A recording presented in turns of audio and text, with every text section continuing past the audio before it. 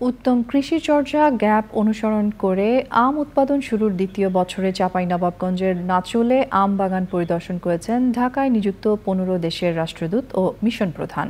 বিশ্বজুড়ে বাংলাদেশের আম রপ্তানি বাড়ানোর লক্ষ্যে এই পরিদর্শন আয়োজন করে কৃষি মন্ত্রণালয়। তানভীর আশিকের রিপোর্ট।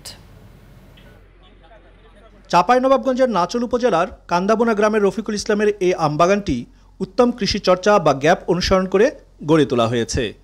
কৃষিমন্ত্রী ডক্টর আব্দুল শহীদের নেতৃত্বে আমবাগান পরিদর্শন করেন ঢাকায় নিযুক্ত পনেরোটি দেশের রাষ্ট্রদূত ও মিশন প্রধান। বিশ্ববাজারে আম রপ্তানি বাড়ানোর লক্ষ্যে এই আয়োজন। আমের গুণগত মান বৃদ্ধি ও বাজার সম্প্রসারণে বিভিন্ন কার্যক্রম হাতে নিয়েছে কৃষি মন্ত্রণালয়। বাংলাদেশের আম, আমরা এখন যেটুকু রপ্তানি করছি বিদেশে, তার চেয়ে আরও বেশি যাতে করা যায়। তার জন্য যারা রাষ্ট্রদূত আছেন, তাদেরকে উৎসাহিত করা, আমাদের দেশে আম যেন তারা বেশি করে আমদানি করেন এবং আমরা বৈদেশিক মুদ্রা অর্জনে এটা একটা বিরাট ভূমিকা রাখব। এফএওর মাধ্যমে আমরা সারা ওয়ার্ল্ডে কিন্তু আমাদের যে বাংলাদেশে এই সুইট আম কোয়ালিটি আম স্পেশাল ফ্লেভারের আম যে আমরা উৎপন্ন করছি গ্যাপ ফলো করে এই বার্তা আমরা ছড়িয়ে দিব। আম বাণিজ্য সম্প্রসারণে কৃষি মন্ত্রণালয়ের সাথে কাজ করবে বাণিজ্য মন্ত্রণালয় ও পররাষ্ট্র মন্ত্রণালয়।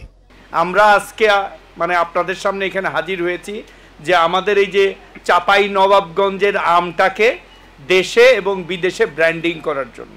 এই যে গ্যাপ বা গুড এগ্রিকালচার প্র্যাকটিসেসের মাধ্যমে আমি ধন্যবাদ জানাই এই উদ্যোগটা যিনি এখানে যার যেখানে এখানে আমরা এসেছি।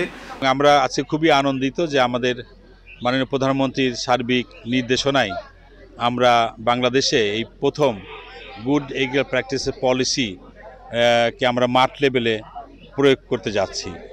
গ্যাপ সার্টিফাইড কৃষি চর্চা করে আমবাগানে সফল হওয়ার কথা তুলে ধরেন চাষি রফিকুল ইসলাম। আমার কৃষি গুরু বলব শ্রদ্ধা psych sir.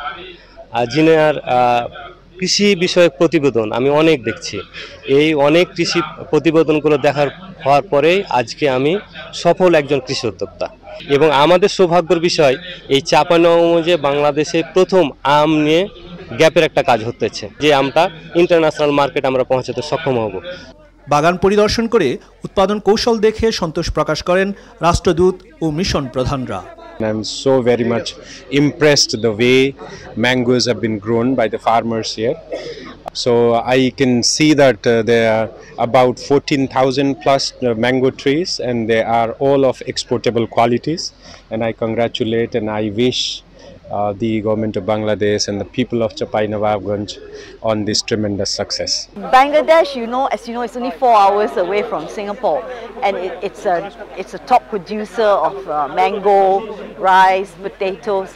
So uh, for Singapore, we see Bangladesh as uh, having a huge potential for export of agricultural uh, food supply. As our one country, one priority initiative, try to scale up the good agricultural practices, try to contribute to the food security and the food safety. Tanvir Ashiq channel I Chapai Nawabganj এখন জন্ম সনদ দিয়ে খোলো বিকাশ student account নিজের বিকাশ নিজে কর